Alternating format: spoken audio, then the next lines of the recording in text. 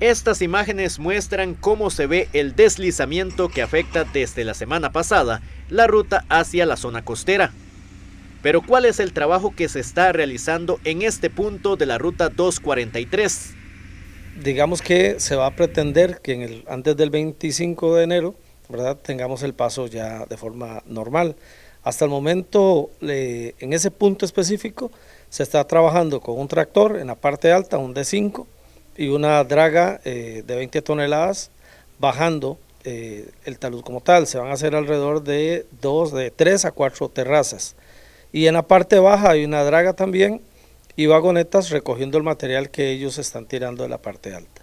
El trabajo se está haciendo de forma coordinada con, con AVI, ¿verdad? Y este, se espera que los trabajos avancen lo más rápido posible y si el tiempo, ¿verdad? El clima no lo permite, los avances van a ser importantes en el transcurso de una a dos semanas. Ahí se va a valorar qué tan rápido se podría tener una apertura de la ruta como tal.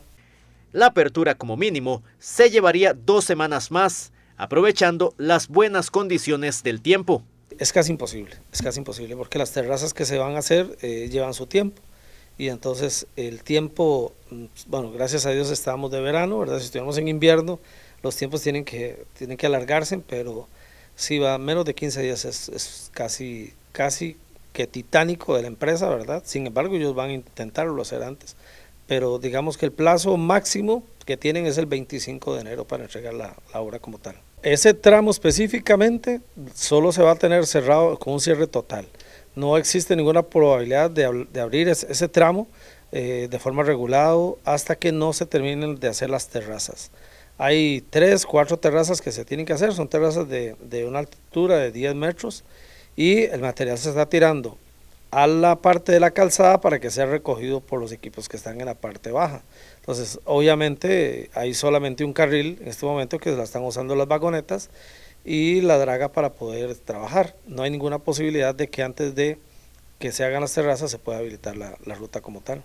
Sobre este deslizamiento, el experto dejó claro que no es algo nuevo. Este problema no comenzó ahora en verano, eso es un problema eh, ya bastante, eh, bastante antiguo, digo, porque una grieta no se hace de un día para otro, una grieta de, este, de esta magnitud. La descompresión que está teniendo el talud como tal, eh, la viene teniendo desde hace días.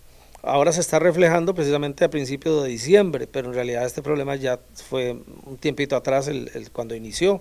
Nosotros solo vemos el final, el final de, este, de los deslizamientos, pero los deslizamientos tienen un proceso y lo que al final vemos es cuando cae el material, pero en realidad han habido un montón de, factores anteriores, incluyendo, incluyendo lo que es importantísimo. Esta zona ha tenido algunos eh, eh, temblores en los últimos días, ¿verdad? Ha sido una zona como que ha estado temblando mucho.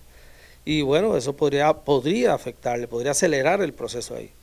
La municipalidad de Pérez Celedón informó mediante sus redes sociales que por el cierre de la ruta se habilitará un paso regulado a partir de este sábado 7 de enero en horario de 6 de la mañana a 6 de la tarde para carros livianos 4x4 y de carga no articulada.